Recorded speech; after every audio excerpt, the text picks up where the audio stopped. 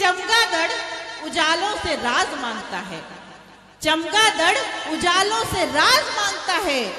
कौआ कोयल से आवाज़ माँगता है और दिमाग से पैदल दिखाई देता है। बैलगाड़ी चलाने वाला हवाई जहाज़ माँगता है। हवाई जहाज़। देखो, प्रेरणा जी, ऐसा है कि चमगादड़ ही है। जो चाँद की चांदनी को चूमते हैं अच्छा।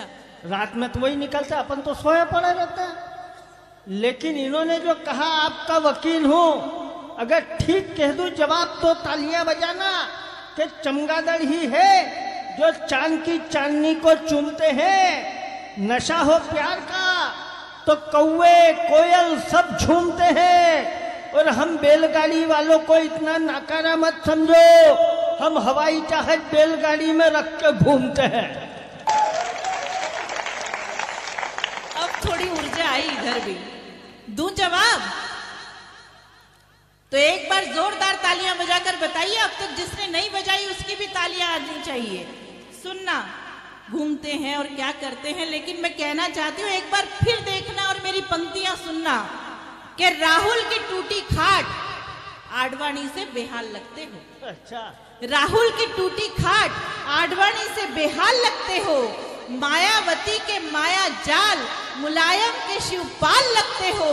और हालत तुम्हारी मध्यावती चुनाव जैसी है। बिना खांसी बिना मफलर ही केजरीवाल लगते हो।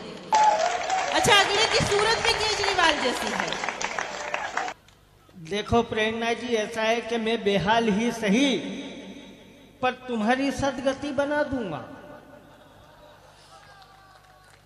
अब सुनना जवाब कि मैं बेहाल ही सही, पर तुम्हारी सदगति बना दूँगा। दुश्मनी अगर पालोगी तो जड़मती बना दूँगा। और चुनाव चाहे मध्यावधि हो या आम चुनाव, केजरीवाल समझोगी तो फिर मायावती बना दूँगा। बना तो जादू का खेल चल रहा है जो जो चाहे वो बना दोगे। अंतिम पंक्तियाँ सुनना कि तुम तो चाहे जो बना दोगे, लेकिन मैं क्या हूँ? कि हर कोई एरा गेरा हमारे हार्ट का पार्ट नहीं होता। क्यों, मिथुन चक्रवर्ती? हर कोई ऐरा गेरा हमारे हार्ट का पार्ट नहीं होता। अच्छे कपड़े पहन लेने से कोई स्मार्ट नहीं होता। और निकला है दिल की सड़क पर मोहब्बत की रेस करने को। ये वो खटारा स्कूटर है, जो स्टार्ट नहीं होता। आपको यही नहीं मालूम है, स्कूटर खटारा होने से मिथुन कुछ भी नहीं होता, इंजन टनाटन होना चाहिए। कि किताब की जिल्द मत देखो, अभी हर पेज अच्छा है। हर एक पेज पर अनुभवों का कवरेज अच्छा है और इश्क की रेस में तुमसे हारना भी मंजूर है, लेकिन ध्यान रखना, स्कूटर खटारा है, पर एवरेज अच्छा है। आइए, अंतिम पंक्तियाँ निवेदन करती हूँ और फिर कविता पाठ पर आती हूँ। मुझे तुम्हारा प्यार भी स्वीकार है। मुझे तुम्हारा कम से कम इस बात पर तो आवाह होनी चाहिए आपकी। मुझे तुम्हारा प्यार भी स्वीकार है और मेरा दिल भी बहुत बेकरार है और जिस दिन तुम्हारा और मेरा रिश्ता कायम होगा, उस रक्षाबंधन का मुझे बेसब्री से इंतज़ार है।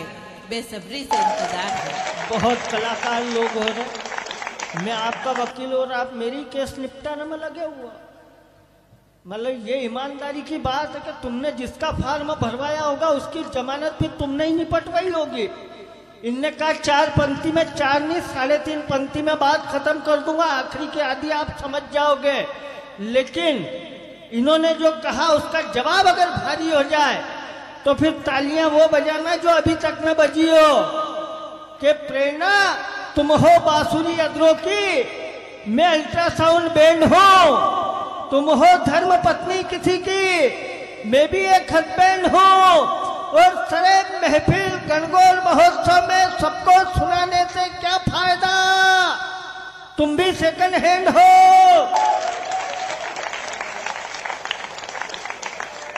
और मैं भी सेकंड हैंड हूँ। लेकिन